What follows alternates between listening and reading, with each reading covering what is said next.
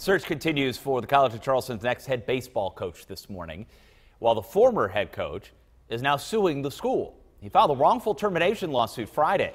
He's accused of abusive behavior toward former and current baseball players. In a statement released the day he was fired, Matt Heath denied any wrongdoing to players.